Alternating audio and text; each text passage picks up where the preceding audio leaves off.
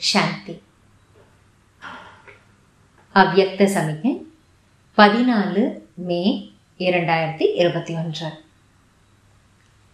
इस अभ्यास को शक्तिशाली बनाने के लिए पहले अपने पर प्रयोग करके देखो हर मास व हर पंद्रह दिन के लिए कोई न कोई विशेष गुण व कोई न कोई विशेष शक्ति का स्वप्रति प्रयोग करके देखो।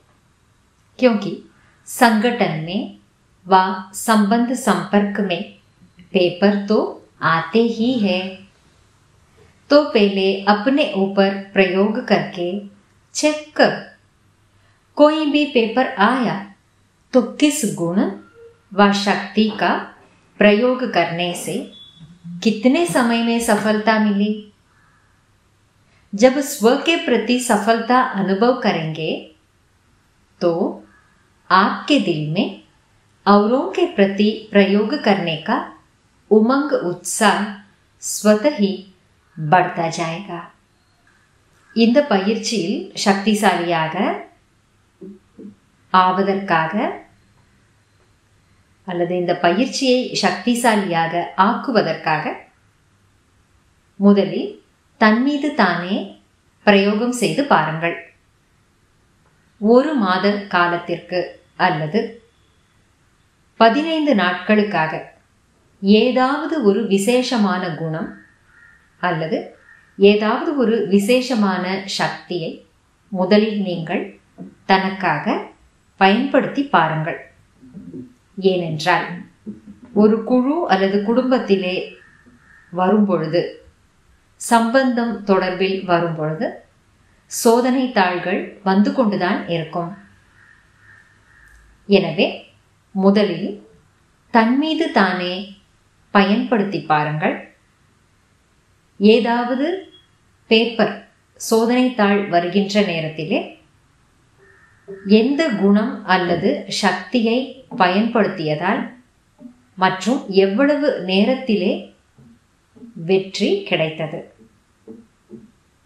எப்பொழுது தனக்குத்தான் வெற்றியை அனுபவம் செய்வீர்களோ அப்போது உங்கள் மனதில் மற்றவர்களுக்காகவும் இதை பயன்படுத்தி பார்க்க வேண்டும் என்ற ஊக்கமும் உற்சாகமும் தானாகவே வளர்ந்து கொண்டே போகும். பாபா என்ற இனிமையான சுப்ரீம் டீச்சர் இந்த ஹோம்ஒர்க்கில் நமக்கு ஒரு டைம் ஃப்ரேம் எந்த ஹோம்ஒர்க்கையும் அது எந்த ஒரு ப்ராஜெக்டையும் செய்வதற்கு ஒரு காலகட்டம் அவகாசம் கொடுப்பாங்க. அந்த மாதிரி பாபா கொடுக்குற சொல்லி கொடுக்குற குறிப்பிட்ட ஒரு குணத்தை அல்லது விசேஷமான ஒரு சக்தியை முதலிலே தனக்காக பயன்படுத்தி பாருங்க. ஒரு பதினைந்து நாளைக்காக பொறுமை என்ற சக்தியை நான் பயன்படுத்தி பார்ப்பேன். அல்லது கருணை என்ற குணத்தை நான் பயன்படுத்தி பார்ப்பேன். அல்லது வேற ஏதாவது ஒன்று. அது அன்பாக இருக்கலாம் தூய்மை என்ற விஷயமா இருக்கலாம். அப்போ அது பதினஞ்சு நாளைக்கோ ஒரு மாதத்திற்கோ செய்யும் பொழுது நமக்குள்ளே முதல்ல அந்த ஒரு பாயிண்ட்ல நம்ம உறுதியாக ஆகிடுவோம். விசேஷமான குணத்தையோ சக்தியையோ நமதாக்கி கொள்வோம். அப்படி நமக்காக பயன்படுத்தி வெற்றியை அடைஞ்சிட்டோம் அப்படின்னு சொன்னான் பின்னாடி மற்றவர்களுக்கு அதே விஷயத்தை சொல்லி கொடுக்கறதுக்கும் அந்த அனுபவத்தை ஆதாரமாக வைத்து மற்றவர்களுக்கு அதை பயன்படுத்துவதற்கும் தன்னால நமக்கு ஒரு ஊக்கம் உற்சாகம் ஏற்படும். நாம இப்படி செய்துதானே வெற்றி அடைந்தோம். பாபா கூட இன்னொரு விஷயத்தையும் சோதிக்க சொல்றாரு. ஏதாவது ஒரு டெஸ்ட் பேப்பர் சோதனை வரும் பொழுது குணத்தை அதாவது எந்த குணத்தை அல்லது எந்த சக்தியை நான் பயன்படுத்தினேன் எவ்வளவு நேரத்திலே எனக்கு அதில் வெற்றி கிடைத்தது? இதையும் அப்பப்போ சோதிச்சு பாருங்க. இந்த மாதிரியான மிக உயர்ந்த விஷயங்களை சொல்லி கொடுக்கக்கூடிய பாபாவுக்கு நன்றி சொல்லி நாம் இன்னைக்கு சங்கல்பம் செஞ்சுக்கலாம். குறிப்பிட்ட ஏதாவது ஒரு குணத்தை அல்லது விசேஷமான சக்தியை நாம் நமக்காக தேர்ந்தெடுத்துப்போம். ஒரு பதினைந்து நாளைக்காக பத்து நாளைக்காக நாம் அதை பயிற்சியில் வைப்போம்.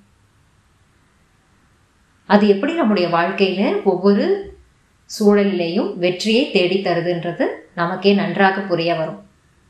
அப்போ அந்த விசேஷமான சக்தியில நாம வல்லுனராக ஆக முடியும். ஓம் சாந்தி.